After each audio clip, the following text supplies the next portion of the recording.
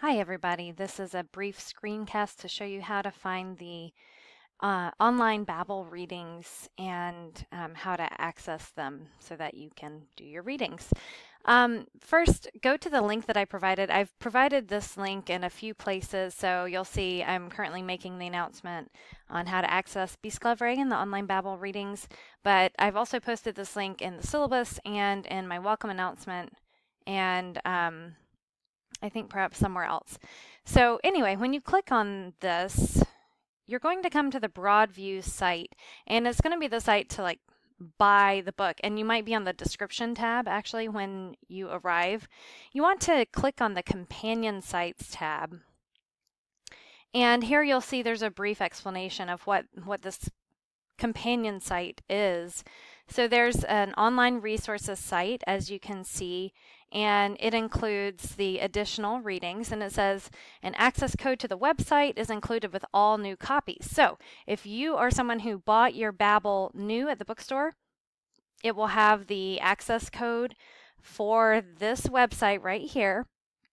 And then if you bought it used, then you'll need to click on this button to purchase an online code. So I'm going to click on that real quick to show you what that page will look like.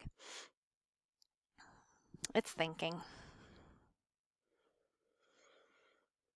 All right, so you can see this is the student website passcode for the BABL, and the price is $6.95. If you are looking at something that costs $70, do not buy that. That's the whole anthology, which you already own at this point. So anyway, you can do this to buy uh, just the access code for the online readings. Um, or if you already have your access code, then you'll just click on this website link right here. All right, so this is what the page will look like where you will enter your access code and you want to go to the member login box and put your access code in there and log in. Um, and then you might not know where to go from here. But even though it doesn't look like the screen changed at all, you want to go to online selections and find our anthology because the access code will work specifically with our anthology, which is the one volume compact edition. So when you click on that, you'll see um, there it's divided up by um, time periods.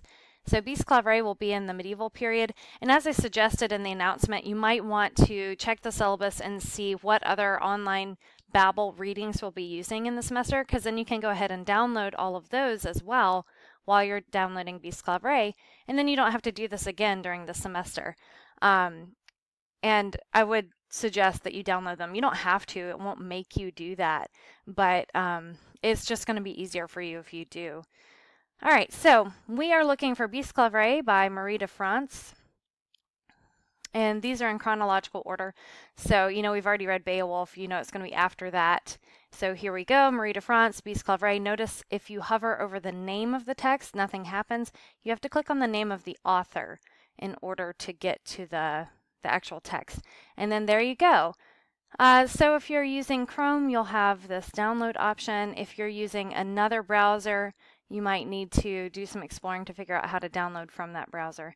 Um, but once you download it, then you'll have it available to you. And that's how you access the online readings for the online BABL.